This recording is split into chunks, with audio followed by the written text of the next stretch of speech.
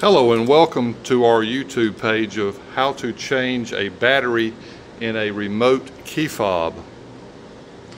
What you do is you turn it over on the back, you'll see a small screw, Phillips screwdriver, and you unscrew the screw and set it to the side. And you break open the key fob by pulling the two plastic pieces together or apart and you'll see the battery. There's a plus and a negative side. Be very uh, observant of the uh, where the plus and the negative is on the battery when you take it out. Pop the battery out, battery comes out. You will notice over here there is a plus symbol. It's very hard to see. If you're changing a battery uh, on an older key fob that uh, has been on your keychain for a period of time, the keys get dropped and the uh, battery will get loose between these two pieces of metal. The clips that hold the battery in place will get very loose and the little green light, when you press the green light, will not flash. So, if you're experiencing that problem, what you will need to do is take the battery out any which way you can, pry it out. You may need to take a piece of paper, fold it up on either side of the clips, between the clip and the plastic frame.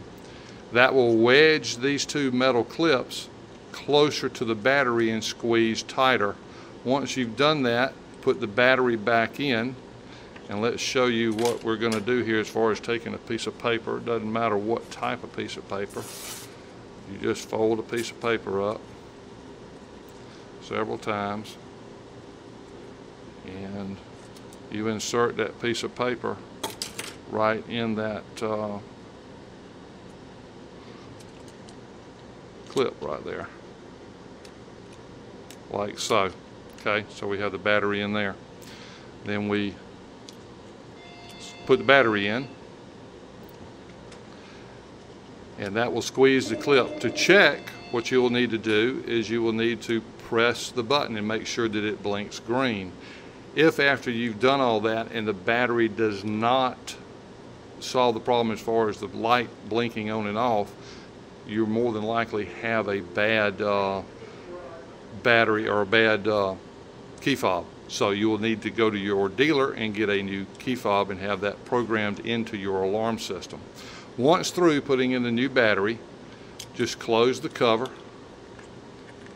and screw the screw back in its original position like so.